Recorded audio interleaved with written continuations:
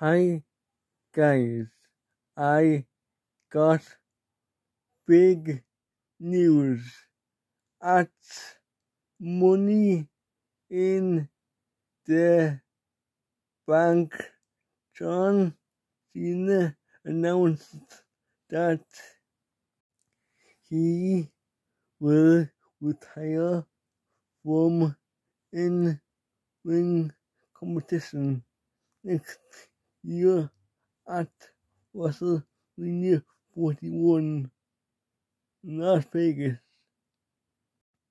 John Cena said that next year will be his last Royal Rumble, his last Elimination Chamber,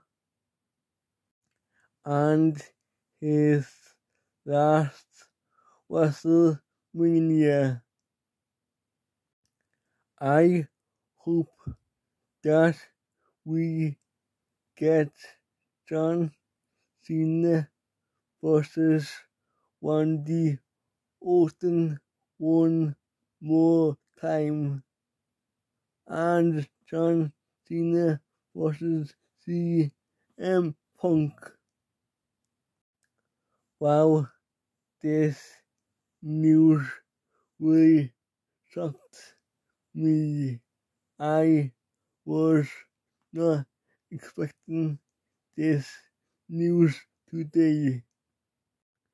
John Cena is one of the reasons that I started to watch wrestling. He was my first favorite wrestler back in the day.